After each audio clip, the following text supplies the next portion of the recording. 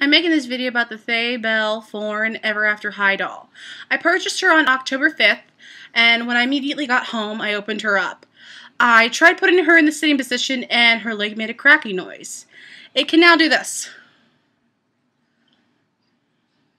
Her leg completely broke off out of so socket, out of socket, and it looks a little something like this. There's no way of fixing her, nothing.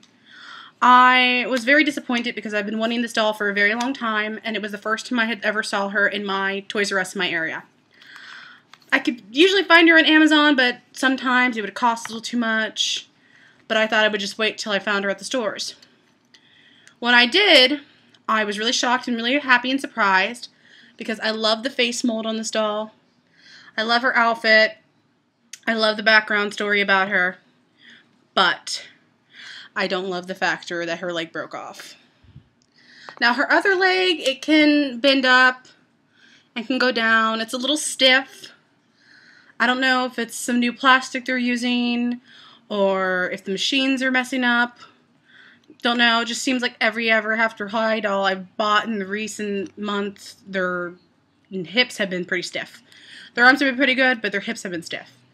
My bunny doll I got her the same day. She's fine. Her hips are a bit stiff too, but I can put them up. I can bend her knees. I can put them down and no problem. She's fine.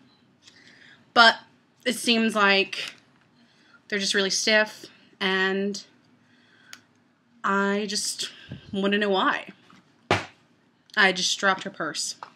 Picked it up in a minute. But yeah, I'm just really disappointed about this. I contacted Mattel. I let them know what happened. And they said that they would really appreciate it if I sent the doll to them. And they're giving me uh, a prepaid code or something to put in a box and ship to them so they can see what exactly happened to the doll. I'm going to do that. And I'm just going to see what goes from there.